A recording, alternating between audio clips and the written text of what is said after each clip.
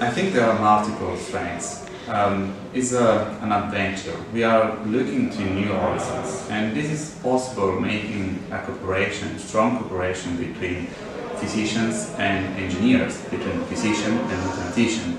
So I do believe that only together we can discover new horizons, and these horizons can be the prediction of new arrhythmias.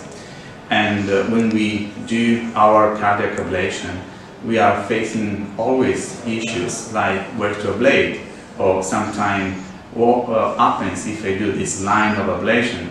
And sometimes mathematicians with their simulation can help to uh, say exactly where to ablate. But at the present time, we're doing this offline.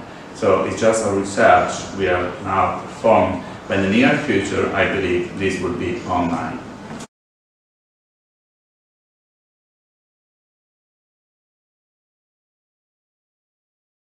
So at the present time, we have to work hard together to answer to these questions.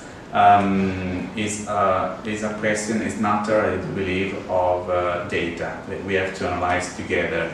And uh, physician, clinic, physician and mathematician should work, cooperate together to understand where exactly we fail, because sometimes in our cardiac ablation, we have some uh, answer or we have some new arrhythmias coming from uh, the circuit we have laid and therefore mathematicians should uh, work together and cooperate to face and solve these problems.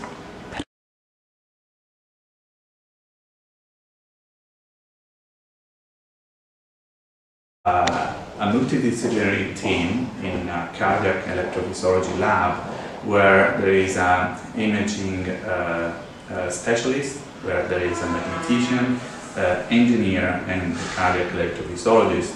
So these four figures are really important to discover new horizons in cardiac electrophysiology. Um, imagine a world where we do our mapping and we analyze the cardiac conduction system and merging these data, electrical data with the imaging we can ask the mathematician online with an algorithm to calculate which are the arrhythmia that we can have on that substrate. So I do believe that all together with this cooperation we can uh, face new arrhythmias. So multidisciplinary team is the key of uh, the future.